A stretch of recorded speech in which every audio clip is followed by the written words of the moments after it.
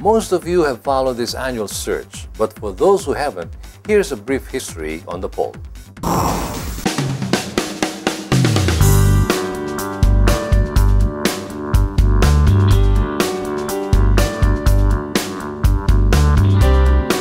Sunshine Television chairman, CEO, and autofocus producer and host Ray Butch Gamboa conceived the People's Choice Awards 11 years ago as an event and merit program support of the local car industry.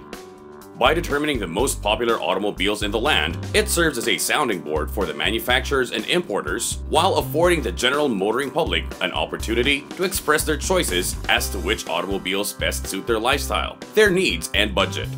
For years, the Autofocus annual poll was combined with a motor show test drive that ran on a one-stop shop concept to allow the motoring public to see up close and test drive their personal automobile preferences.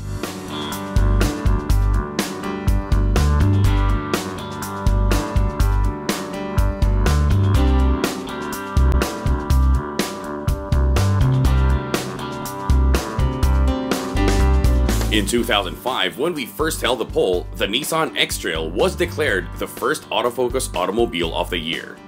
Much has happened since then, and all the stakeholders in the industry have leveled up to meet the challenges.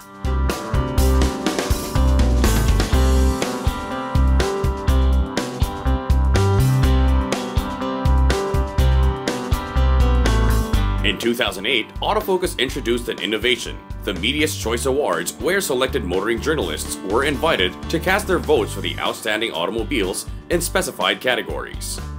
The Media's Choice Awards now comprise a much awaited part of the annual poll.